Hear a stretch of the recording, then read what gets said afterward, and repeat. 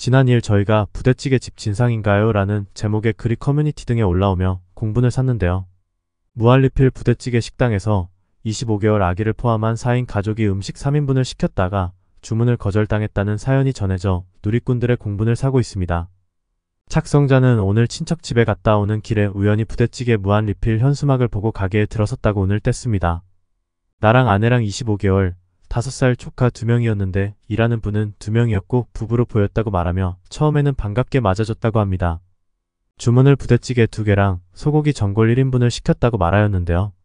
이후 첫 주문을 받았던 남자와 달리 여자 사장은 그런 주문은 받을 수 없다며 거절을 했다고 합니다. 계산대로 돌아간 남자는 아기인데 그래야 하냐고 말했지만 여자 사장은 딱 봐도 5살 넘었다며 서로 의견이 엇갈렸다고 말했습니다. 글쓴이는 결국 25개월 아기까지 포함해 부대찌개 2인분과 소고기 전골 2인분을 주문했지만 여자 사장은 이번에도 그런 주문이 어디 있느냐며 거듭 부대찌개를 인원수대로 주문하라고 말했다고 합니다.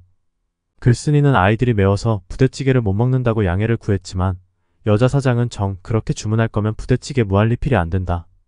괜찮냐고 말했다고 합니다. 이에 오기가 생긴 글쓴이는 부대찌개 얼음만 주고 애들은 옆에 소고기 팩밥만 따로 상 차리는 거 부탁한다고 말했다고 합니다. 그러자 여자 사장은 나가라. 손님 같은 사람들이 뉴스에 나오는 진상이다. 손님도 가려받아야 한다. 저런 손님 안 받아도 된다고 말하였다고 합니다. 결국 글쓴이 가족은 식사도 하지 못한 채 나와야 했다고 말을 전했습니다.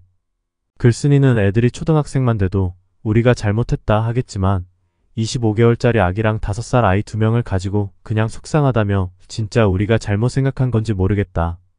융통성 있게 줘도 되지 않느냐 허탈해서 화도 안 난다고 토로했습니다.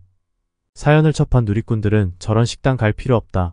피페나 무한리필집은 개월수에 따라 요금이 다르다. 적게 먹는 것 뻔히 아는데 그걸 다 받겠다는 게 도둑놈심보다 1인 1메뉴는 아줌마들 몰려와서 3인분 시키고 공깃밥 추가해서 4인 식사하는 거 방지책으로 나온 건데 어느 순간부터 미취학 아동까지 1인 1메뉴가 된 것이냐 등 대체로 부정적인 반응을 보였습니다.